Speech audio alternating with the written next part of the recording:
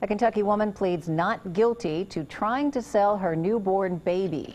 Lee-Anna Brown appeared in court in Elizabethtown today. Police arrested her last week after they say she promised to sell her daughter to two different people. The citation says Brown told her cousin she would hand over the baby girl if the cousin paid for Brown's legal expenses in another case. It also alleges she had an agreement to sell the child for $5,000 to a different person. U.S.